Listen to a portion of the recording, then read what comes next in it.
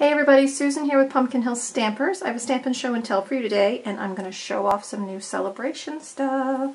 So as you know, Sale-a-bration starts at the beginning of January and goes through the end of March. But in the middle of February, they introduce a few extra items you can earn. So what you're looking at right now is called the Painted Seasons Bundle. And with a $100 purchase, you get the stamp set, right, which is a distinctive stamp set in the new cling stamp, and this beautiful hand-painted designer series paper. So the designer series paper comes 12 to a pack and you get the four different designs, right, because they're double-sided. So you get four different designs, you get three of each. So instead of just getting two of each, you get three of each. So you can make that go a little farther if you're making a whole bunch of cards, which is what I just got finished doing. I had made a whole bunch of cards for a dental swap to show off some new items, and so that made it really handy because I had to make 18 cards.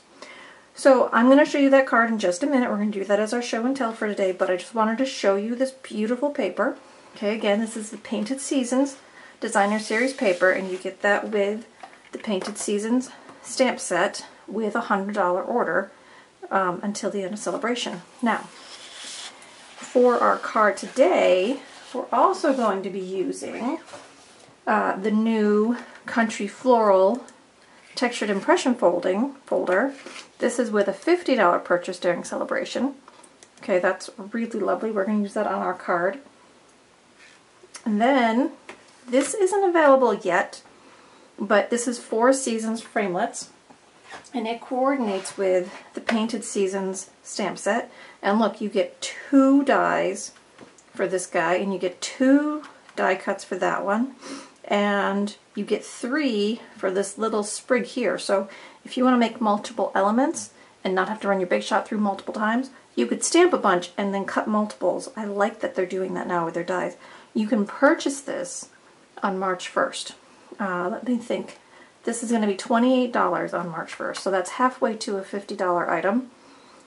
Uh, so we're also going to have other framelits that coordinate with our Sale-a-bration stamps available March 1st, so I'll be telling you more about those as they come available. But some of those favorite sets that you've been collecting during Sale-a-bration, you're going to be able to get die cuts that go with them as well. So that's going to be really exciting.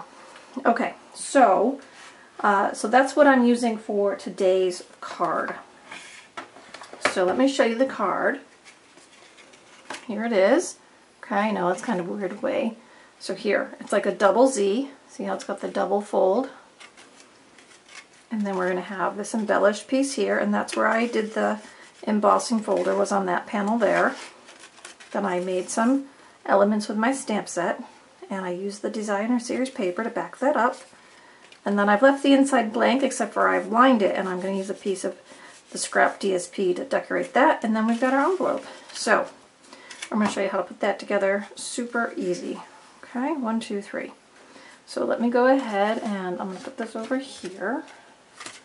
Try to lay that out a little bit so you can see it kind of on the side. Alright, so let me get my kit out. So I'm using Poppy Parade as my card base. And I guess before we do anything we should run it through the Big Shot. So let me get my Big Shot machine in here on the table.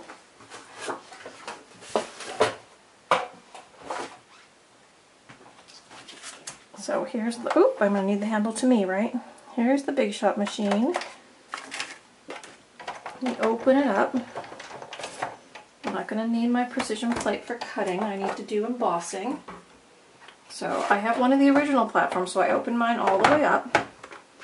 And here is my embossing folder that I'm going to use. The new Country Floral Dynamic folder. Now dynamic means it's thicker, so you only need to use one plate with it. And what I'm going to do is I'm going to emboss both of these end panels with the folder, but I'm going to leave the rest of it flat. So I'm just going to put this in my folder. Now I've been telling you to use that line to keep it straight, but actually this time I want to line up my crease right at the end of the folder. So I'm just going to put that in, and it's dynamic so it's thick, so I'm just putting one plate on top for my sandwich. I'm going to run that through. Hopefully not shake my table too much. I shouldn't. And there we go. You see how I've got that country floral print on the end there. Easy enough. So now we're just going to fold up our card. And remember, all my dimensions will be on the tutorial on next Tuesday's newsletter, so don't worry that I'm not sharing them here. Just sign up for the newsletter down below or go visit the blog, pumpkinhillstampers.com, and you can sign up there as well, not only for the newsletter, but also for the blog posts. So let's put some of our pieces on. So we're going to put our DSP on. This is going to be the panel here in the back. I'll just cut that down to center it. On the inside, we're going to use a piece of Whisper White. And I decided to leave this one blank on the inside so I can kind of use it for whatever occasion I need it for. Sometimes that's a simpler way to do a card and I just had three quarters of an inch of scrap. So I'm just going to use that to decorate the inside. Okay, so there's pretty simple so far, right? So now we're just going to create our elements. So I'm going to do Call Me Clover because it's coordinating color in the paper. I'm going to stamp two of these and see it's that distinctive stamp so it's got some uh, variegation in the leaves so it's kind of nice to just stamp it and you're ready to go. It's got dimension built in. I'm going to do one of these ferns and I decided to do it as a red fern. I wanted some contrast. And then I decided to do a pine cone because I like all the texture of that pine cone. I stamped that there. Now, because I was a demonstrator, I was able to pre-order the framelits that you can purchase on March 1st. So, I then take my framelits, and like I said, I've got two of these, so I can put two of my frames on for this guy. Right? I've got a fern, and I've got pine cone. Okay, and we're going to run that through our Big Shot and I've already done it just to save some time so I've got my four pieces here okay and then I'm going to stamp from the other set from our spring occasion this Forever Lovely okay it really got touted as a Valentine set but I'm going to use the Wishing You Lovely Day sentiment because that really could be for an anything card. It doesn't have to be for Valentine's. And then I'm just using my two and a quarter inch punch and we can just pop that right out and we can use that on our card. So pretty easy, right? All right, so there's all our pieces. Move these aside for now. All right, so let's put this together. Goes together pretty quickly. Now I'm going to use glue dots. So the first thing I'm going to do is put on my sentiment. And what I do is I use two dimensionals. And I just put them on my card face. And then I put my sentiment right down on top.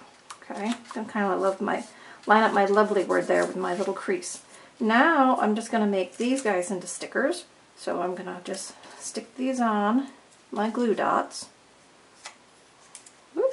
And then I'm just going to poke them kind of underneath that circle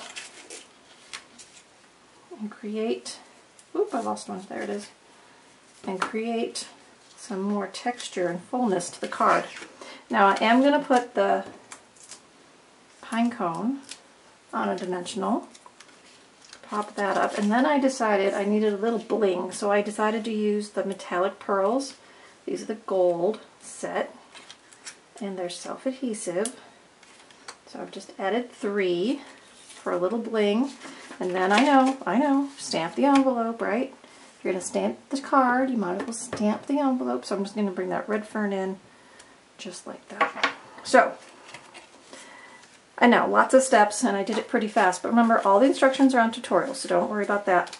I just really wanted to share that there's new uh, products that you can get for Sale-a-bration. So if you put an order in, use my host code if you're going to put an order in with me. I'd really appreciate it. And you'll be entered in my end of the month drawing. And secondly, uh, let's do some celebrating still. We've still got a month and a half to go. So let's have some fun. Go do some fun stamping this weekend, and I'll see you next week. Bye-bye, guys.